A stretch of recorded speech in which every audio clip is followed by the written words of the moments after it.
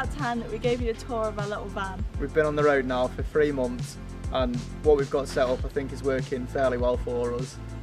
Yeah, so far we've been to France, through Spain, into Portugal, back into France, and now we're currently here in Switzerland.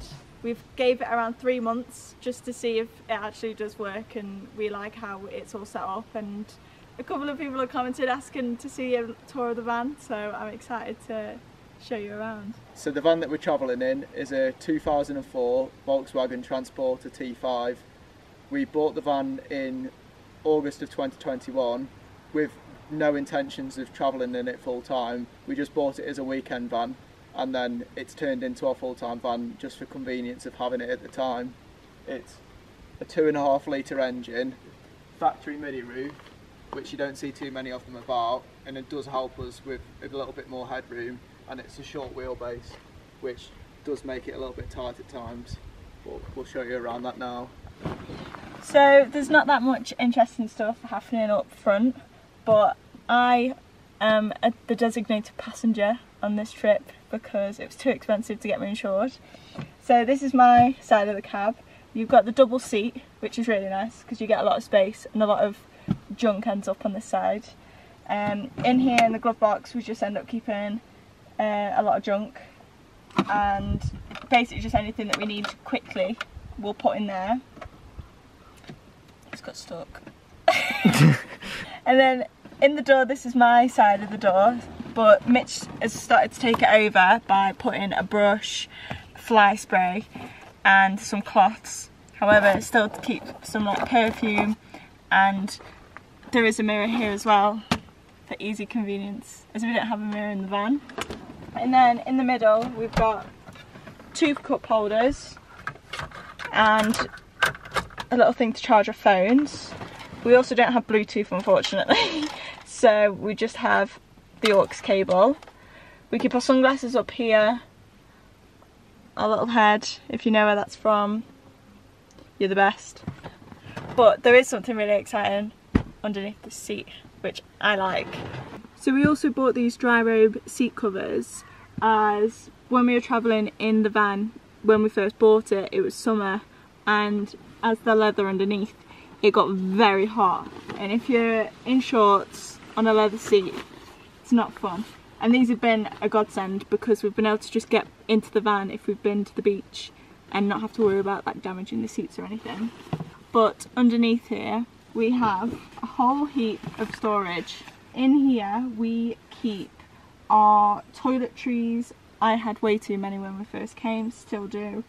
In here as well as like makeup and shower supplies, everything like that and then on this side we keep all of our like gym gym gear so we've got our towels um all our bands knee sleeves massage gun just all the outdoor gym stuff that we can get to really easily. So all that we have to do is flip this up and then we can grab it. And that is really handy to have especially with the toiletries because it keeps it all away but close enough that we can grab it really easily. In the driver's quarters it's pretty bog standard up here. We've got no optional extras less things to go wrong which is sometimes nice but I wouldn't mind cruise control every now and again. Um, about the most snazzy thing we've got is electric windows so we're balling over here there's also no aircon in this van which does become a tad bit annoying when you've been driving for a couple of hours with the windows down so on my side I've got the first aid kit which luckily hasn't been used yet.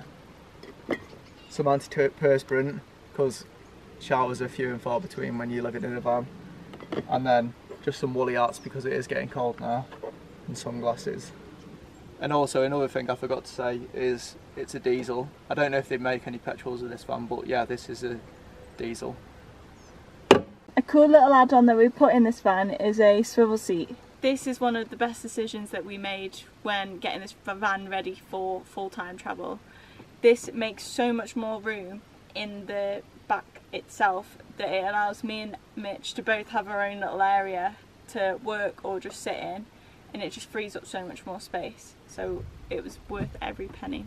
So now I thought I'd just take you through the living quarters of the van. So starting up top, up here, this is our wardrobe. it's not much, but it's enough. We scoured the internet for ages to find. You said yours would be easier. we scoured the internet for ages to try and find something that would be able to fit in this top bit, and luckily we came across these little wooden drawers that we've been able to roll and fold all of our clothes, and then we've just put a bungee strap over it. And to be honest, so far they've been pretty good. They don't go anywhere, as you can tell. It's really hard to get them out, especially when someone's bought way too many clothes. So moving on around to this bit of the van. We bought some little hooks before we left and they've come in so handy. And we've been able to put one up here into the ceiling. And this is my little toiletry bag.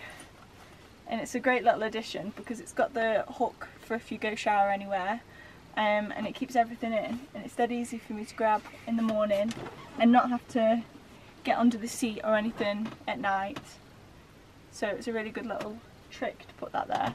Me and Martha debated for quite a long time on whether we needed this door card or not. So inside the sliding door is basically just a load of empty space which as you can see can be used for quite a lot of various things. Um, this was quite expensive. It was around 150 pounds i think at the time.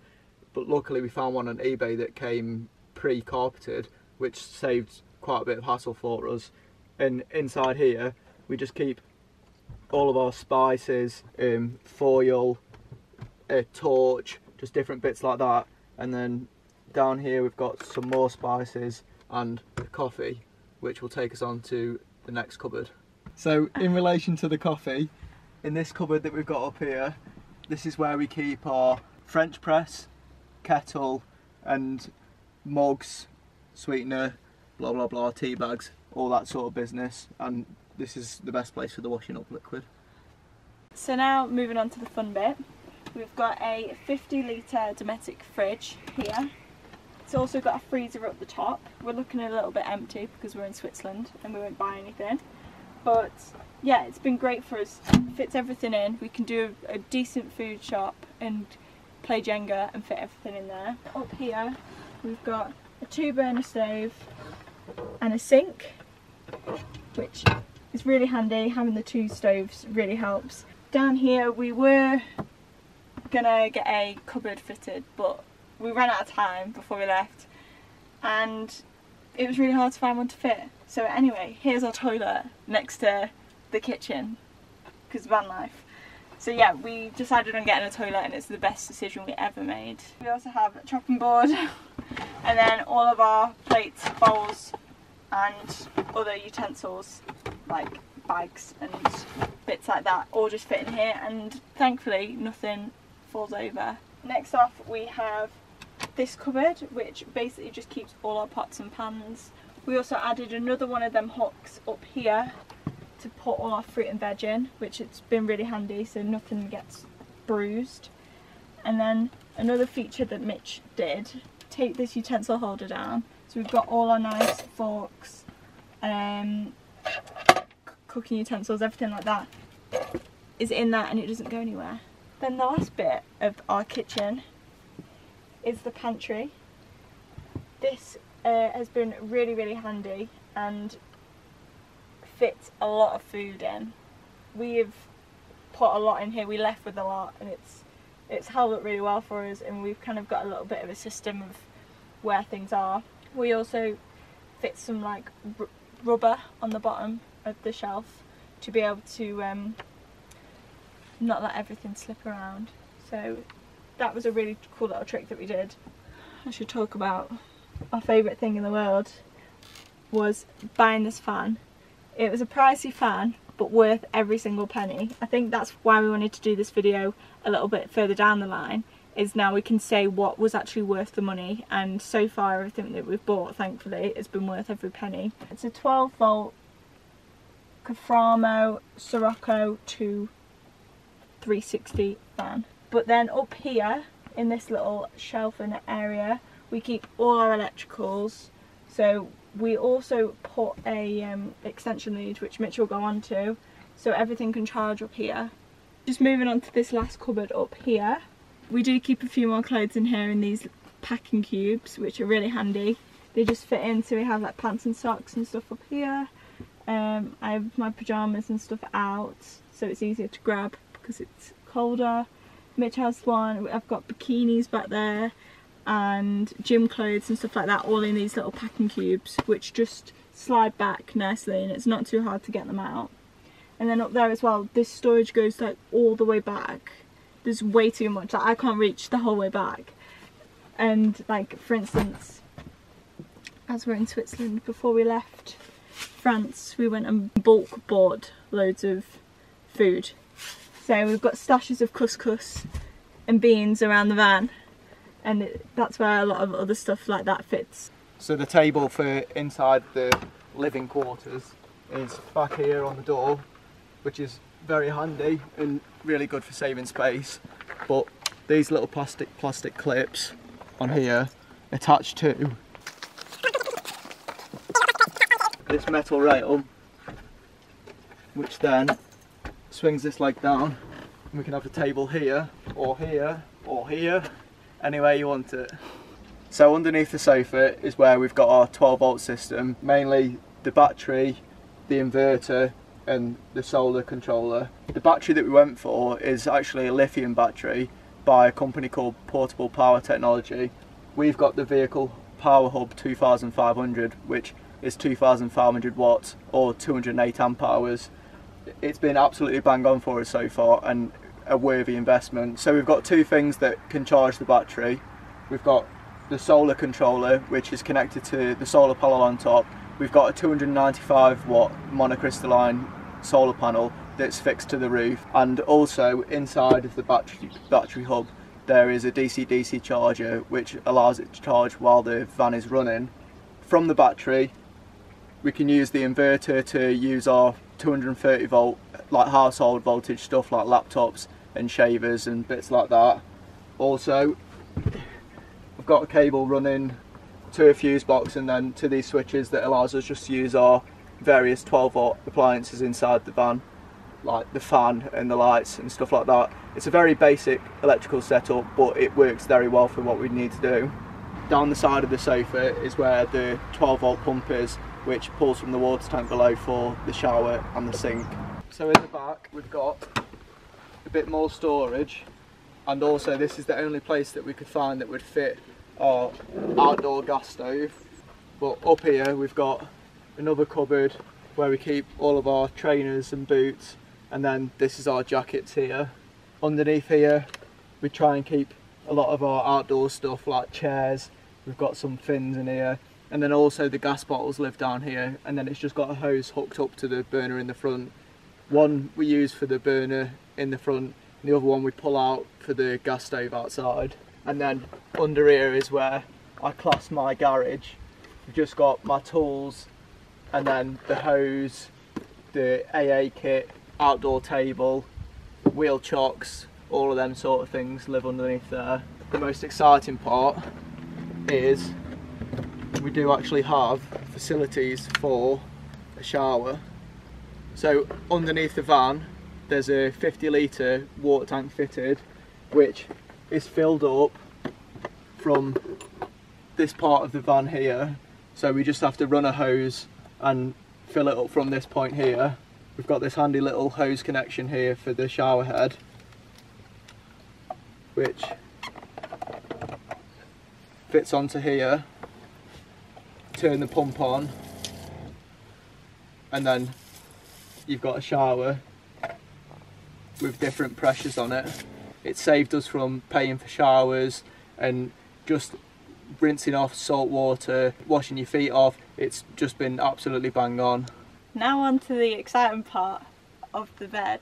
Getting the bed out is a little bit of a challenge as anyone who lives in a van would know if it's not a fixed bed there's a little bit of manoeuvring that you have to do to be able to get your bed ready.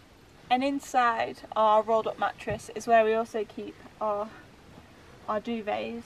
So me and Mitch actually opted for two single duvets as um, during the summer months I am known to like to cover myself with the quilt still, even if it's really, really hot. so it made sense for us to kind of go separate on that. It's actually really comfy, so we were kind of concerned about the thickness of the mattress not being enough, but we've slept really well in the van. I can't really think of any nights that we've had that either of us have been really uncomfortable since we've had this mattress. So, all in all, it's very comfy and very cosy. so, that is it for the van tour. I hope you've enjoyed. I hope we haven't missed anything. I think we have missed some stuff, but if you have got any questions, please just let us know and then we'll try and answer them as best as we can. Yeah, and leave us a comment down below of what you liked about the van or if there's anything that you'd change or you've got any ideas for us to do any cheeky upgrades. Let us know as now we're in it full time. Any little tweaks that we can make are much appreciated. Thanks for watching. See you next time.